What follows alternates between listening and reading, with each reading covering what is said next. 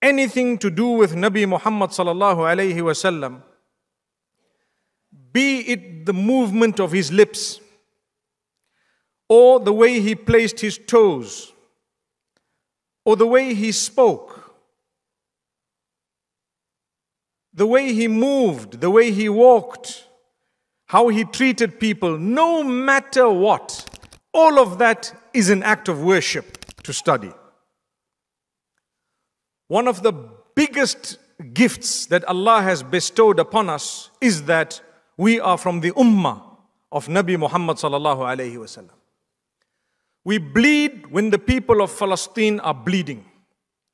We will not stop rendering assistance to them until the day they are liberated.